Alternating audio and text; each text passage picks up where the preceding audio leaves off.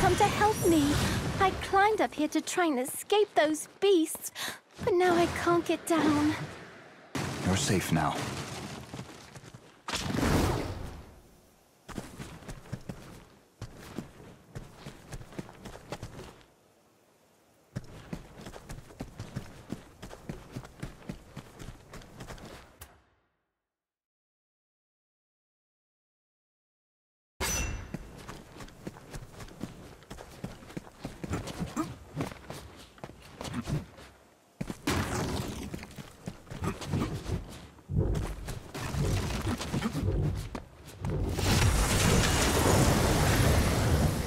To see my portals are holding up.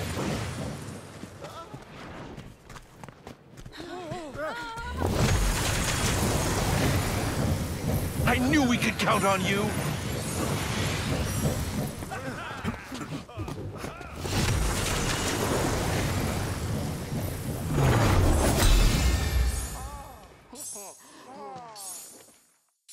Avil, congratulations. You're still alive.